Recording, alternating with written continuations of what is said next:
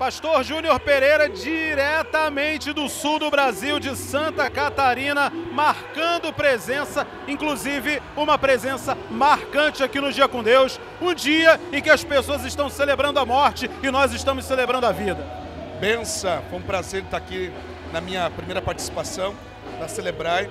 Sempre foi um sonho, um desejo de pregar aqui nesse projeto que é uma relevância, é uma referência no nosso Brasil. Estou muito feliz de estar aqui com vocês, uma mensagem abençoada. Pastor, para o senhor, qual a importância desse tipo de evento para o atual, atual cenário que nós estamos vivendo? É essa atmosfera espiritual, pessoas aqui em busca de um avivamento, curas, milagres, foi algo muito marcante, tremendo. Dia com Deus é importante todos os dias. Todos os dias. O dia com Deus é importante todos os dias. Amém? Obrigado, pastor. Dia com Deus, celebrar com a cobertura Reobote.